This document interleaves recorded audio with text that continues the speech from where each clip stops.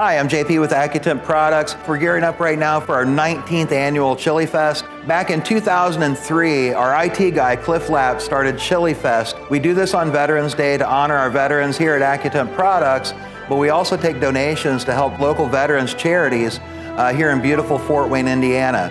So if you'd like to do your own Chili Fest, go to Accutemp.net, download our recipe book, and uh, get your own thing going. If you're a veteran, we appreciate everything that you've done for us. If you're not a veteran, please support your local veterans charity. Thank you.